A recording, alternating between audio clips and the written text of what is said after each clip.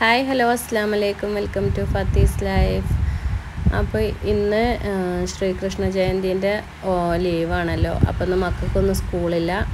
അപ്പോൾ ഇന്ന് ബ്രേക്ക്ഫാസ്റ്റിനായിട്ട് ഞാൻ ഉഴുന്നുവടയാണ് ഉണ്ടാക്കാൻ പോകുന്നത്.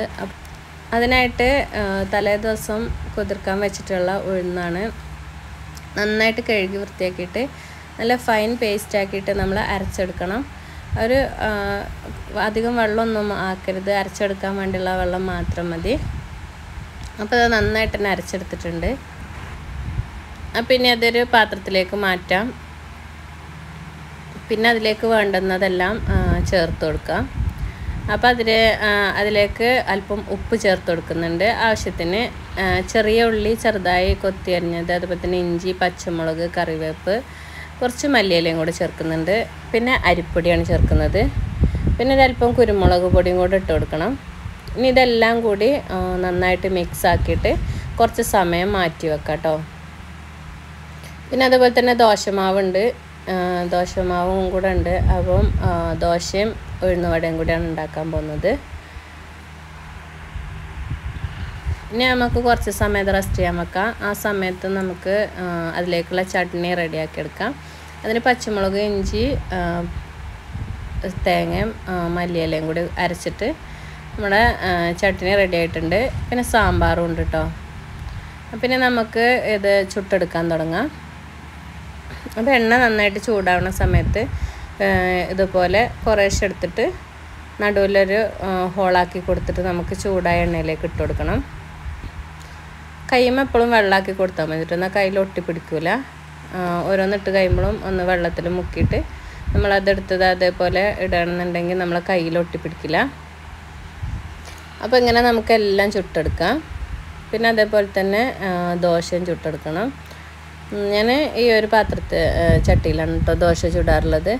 പിന്നെ ബ്രൗൺ കളറാകുമ്പോൾ നമ്മുടെ വട കോരിയെടുക്കണം അങ്ങനെ നമ്മുടെ വടയും ദോശയൊക്കെ ഇവിടെ റെഡി ആയിക്കൊണ്ടിരിക്കുന്നുണ്ട്.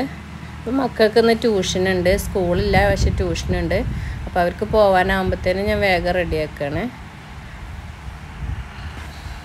അങ്ങനെ ഇതൊക്കെയായിരുന്നു ഇന്നത്തെ ബ്രേക്ക്ഫാസ്റ്റ് അപ്പോൾ ഇതാ ബ്രേക്ക്ഫാസ്റ്റ് ഇവിടെ റെഡി ആയിട്ടുണ്ട്.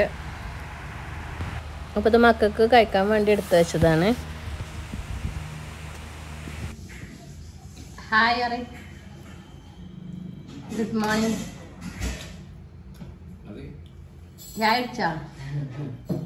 അടിച്ചാ? അപ്പം കഴിക്ക്. വീഡിയോ ഇഷ്ടപ്പെട്ടാൽ ലൈക്ക് ചെയ്യുക ഷെയർ ചെയ്യുക സബ്സ്ക്രൈബ് ചെയ്യുക എന്താണ്?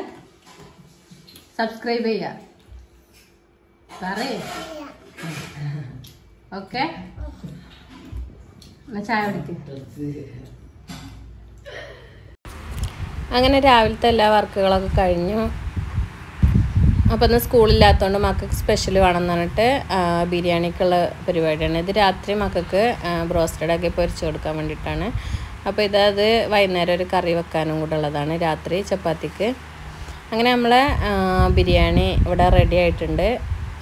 ചിക്കൻ ബിരിയാണിയാണ് ഉണ്ടാക്കിയത്. അങ്ങനെ ചിക്കൻ ബിരിയാണി ഇവിടെ റെഡി ആയിട്ടുണ്ട്. പെട്ടെന്ന് റെഡിയാക്കിയിട്ടുള്ള ബിരിയാണിയായിരുന്നു. പക്ഷെ നല്ല ടേസ്റ്റ് ഉണ്ടായിരുന്നു കേട്ടോ നല്ല അടിപൊളി തന്നെയായിരുന്നു നല്ല ടേസ്റ്റോട് കൂടിയുള്ള ബിരിയാണിയായിരുന്നു.